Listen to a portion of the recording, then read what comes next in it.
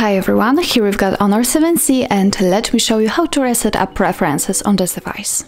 So first of all we have to enter the settings and now let's scroll down to the very bottom to the system. Now let's tap on the reset options, it should be just under the backup and as you can see on the second position we've got reset app preferences, so let's tap on it.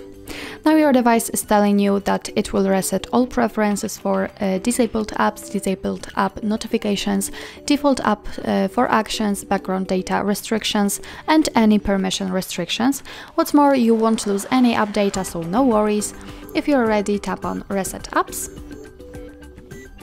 and actually that's all. This is how to reset app preferences in your Honor 7C. Thank you so much for watching and if you find that this video was helpful, please hit the subscribe button and leave the thumbs up.